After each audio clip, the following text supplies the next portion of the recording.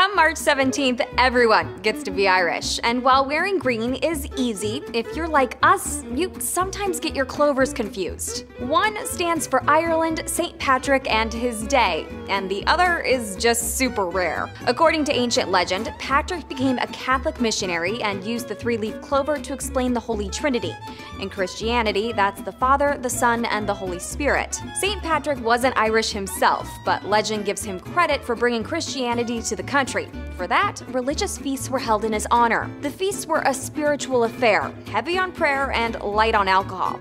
You couldn't even drink in Ireland on the holiday until the 1970s. Irish immigrants in the US started throwing parades for St. Patrick, and the holiday transformed into a celebration of Ireland in general. And with America's excitement to celebrate the day, we've often worn the wrong clover. The four leaf variety has too many leaves to represent St. Patrick. But because only about one out of 10,000 clovers has an extra leaf, they're supposed to bring good luck.